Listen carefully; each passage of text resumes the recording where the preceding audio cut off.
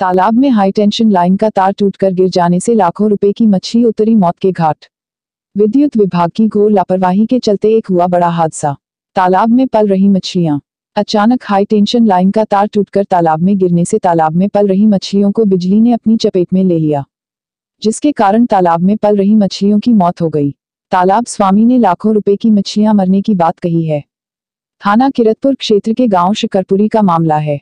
हम आपको बताते चलें कि जनपद बिजनौर थाना किरतपुर क्षेत्र के गाँव शिकरपुरी निवासी यासीन पुत्र काजिम अली ने अपने ही गाँव में एक तालाब में मछली पालन का कार्य कर रखा था कि रात्रि दो बजे बजे अचानक हाई टेंशन की लाइन का तार तालाब में टूटकर गिर गया, जिसके कारण तालाब में बिजली का कट फैल गया तथा तालाब में पल रही मछलियों को बिजली ने अपनी चपेट में ले लिया, जिसके कारण तालाब में पल रही लाखों रुपए की मछलियों की मौत हो गई।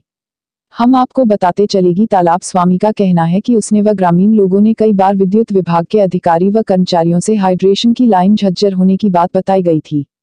परंतु एसडीओ व जय एवं विभाग के किसी कर्मचारी ने ग्रामीण लोगों की बात की कोई सुनवाई नहीं की। सो आज नतीजा सामने है।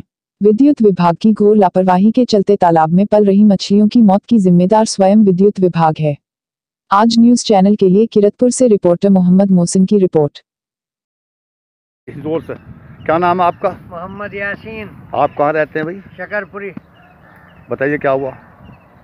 शकरपुरी का रहने वाला हूँ ज़िला बिजनौर तहसील नजियाबाद का। हाँ। एक इससे पहले एक बार और तार गिरा था मेरे तालाब में। और मछली मर गई थी। मैंने कई बार बिजली वालों से कहा कि तार आपके कमज़ोर हो गए लगभग ये पचास साल पुरानी लाइन है। लेकिन आज तक उनके कान पे जू नहीं चली। और रात ये सुबह पाँच बजे तार गिरा है। कम से कम एक लाख रुपए का मेरा नुकसान है मछली मरने का और मैंने अभी पचास हज़ार बच्चा डाला था इसमें। कब?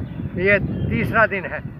हुसैनपुर वाले अली हसन है उनसे लिया था। तो ये मर गया सब? सब मर गया और कुछ नहीं बचा। अब आप क्या चाहते हैं? मैं तो ये चाहता हूँ कि सरकार इसका मुझे मुआवजा दे और बिजली वालों से बिजली वालों को जो है हिदायत दे कि ये तार जो है बदले जाने हैं।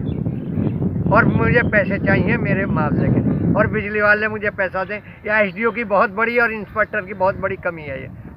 दोनों जाते हैं गोली दे देते हैं। गाँव में और भी इनके कई हैं। फाल्ट। ठीक। और अगर कोई आदमी आ जाता है यहाँ लैट्रिन धोने तो क्या होता? गाँव से लगा हुआ तालाब है।